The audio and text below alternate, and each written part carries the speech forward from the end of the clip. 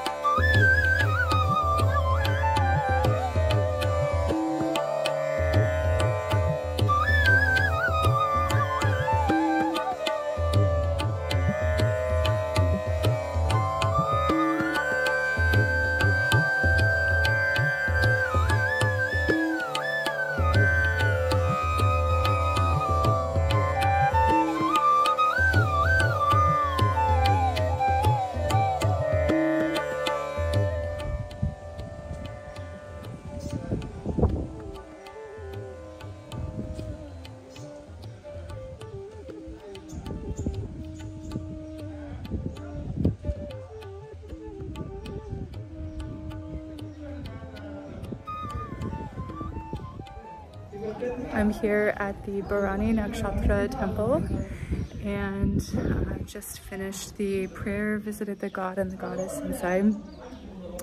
And what is uh, quite amazing about this temple is the outside complex. Um, they don't have actually a Navagraha um, area, but they do have Shani Dev and uh, Shani is Yama's brother, and Yama is the uh, presiding deity for Bharani Nakshatra. So uh, Sh uh, Shani represents all of the Navagraha here. And um, they have a lot of art too. The way that they've decorated this on the outside is quite lovely. And there's also this um, huge painting of Shiva on the roof and you can see it um, in between the uh, building structures.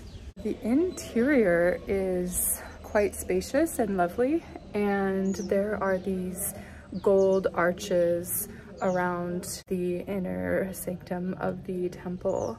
So the gold is quite flashy, it's quite um, an entryway, it's quite a gateway. So they've really made a statement there. I feel the very feminine presence of this uh, temple. It's almost like a warm hug. I love being here.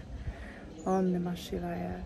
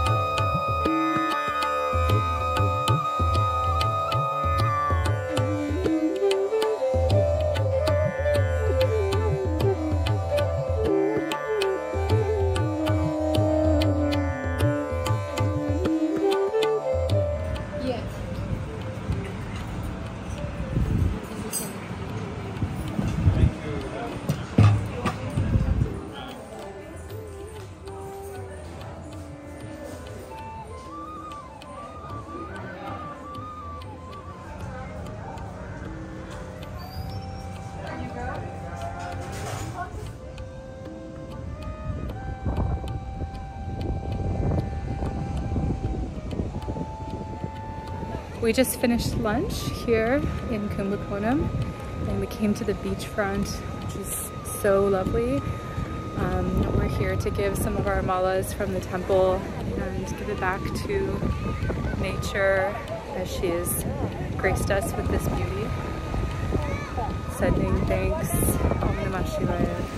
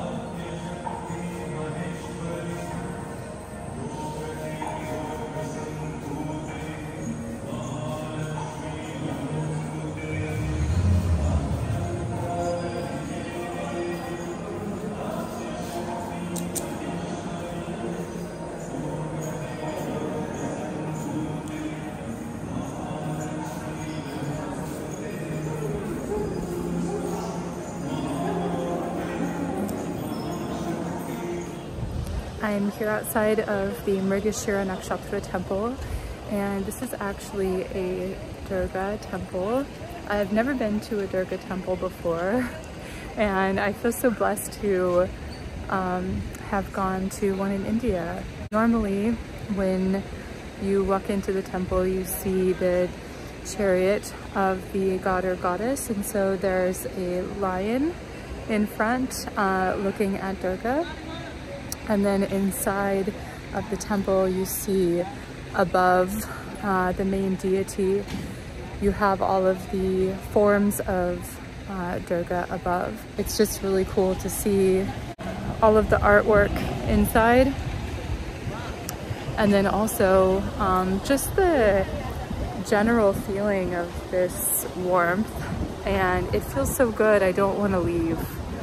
Everything is uh, there to invoke the senses of beauty so that you can receive the energy of the goddess. There are these lovely marble floors and one thing that really made such an impression on me was seeing uh, all of these huge, huge garlands around the deity on the inside.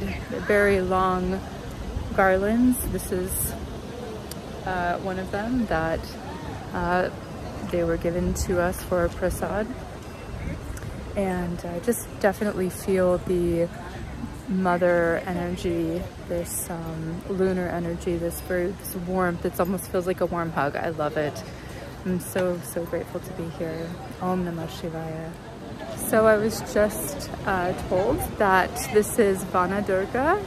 Uh, that is the form of the goddess and you see this lovely sun behind me.